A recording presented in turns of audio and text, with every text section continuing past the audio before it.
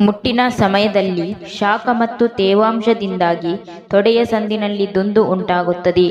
ದೀರ್ಘಕಾಲದವರೆಗೆ ಪ್ಯಾಡ್ ಬದಲಾವಣೆ ಮಾಡದಿರುವುದು ಇದಕ್ಕೆ ಮುಖ್ಯ ಕಾರಣ. ನೀವು ಸ್ಯಾನಿಟರಿ ಪ್ಯಾಡ್ ಧರಿಸುವ ಮೊದಲು ಯೋನಿ ಪ್ರದೇಶಕ್ಕೆ ಟಾಲ್ಕಮ್ ಪೌಡರ್ ಅನ್ನು ಹಾಕಿ, ಇದು ಸ್ಯಾನಿಟರಿ ಪ್ಯಾಡ್ಗಳು ಬೆವರು ಹೀರಿಕೊಳ್ಳುವುದನ್ನು ತಡೆಯುತ್ತದೆ. ದಿನಕ್ಕೆ ಎರಡು ಬಾರಿಯಾದರೂ ಪ್ಯಾಡ್ ಬದಲಾಯಿಸಿ, ಇದು ಸ್ವಚ್ಛತೆ ಮತ್ತು ರ್ಯಾಶ್ ಫ್ರೀ ಭಾವನೆಯನ್ನು ನೀಡುತ್ತದೆ.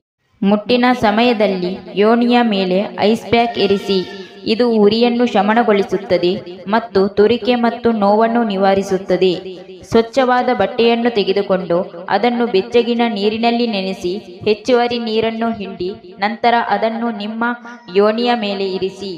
ಶುಚಿತ್ವವನ್ನು ಕಾಪಾಡಲು ಯಾವುದೇ ಸ್ಪ್ರೇ ಅಥವಾ ರಾಸಾಯನಿಕ ಉತ್ಪನ್ನಗಳನ್ನು ಬಳಸಬೇಡಿ.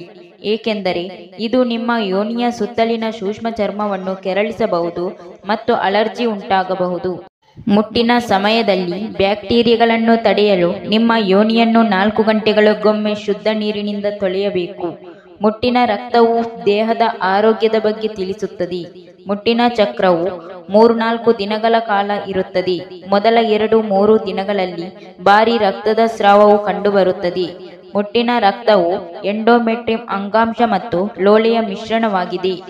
ಮಹಿಳೆಯ ಮೊದಲ ಮುಟ್ಟಿನ ಸಮಯದಲ್ಲಿ ರಕ್ತವು ಸಂಪೂರ್ಣವಾಗಿ ಕೆಂಪು ಅಥವಾ ಗಾಢ ಕೆಂಪು ಬಣ್ಣ ಆಗಿರುವುದಿಲ್ಲ.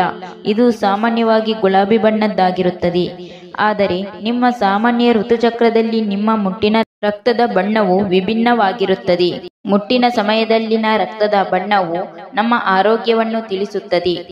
ಮುಂದಿನ ವಿಡಿಯೋದಲ್ಲಿ ನಾವು ಅದನ್ನು ತಿಳಿದುಕೊಳ್ಳೋಣ. Thank you for watching video ಇಷ್ಟ ಆದರೆ ಒಂದು ಲೈಕ್ ಮಾಡಿ ಶೇರ್ ಮಾಡಿ ಕಮೆಂಟ್ ಮಾಡಿ ಚಾನಲ್ನ ಸಬ್ಸ್ಕ್ರೈಬ್ ಮಾಡಿ.